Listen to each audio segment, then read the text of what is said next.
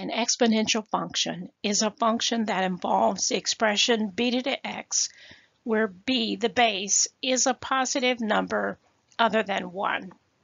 So again, anytime you have a function in the form where you have some number or variable raised to some power of exponent, that the number or variable is the base, and the little tiny number in the upper right hand corner is your exponent.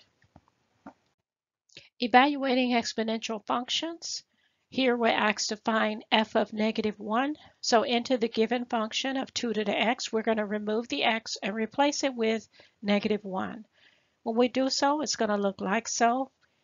You should know that anytime you have an a negative exponent, that in order to make it a positive exponent, you have to flip it or write the reciprocal of it.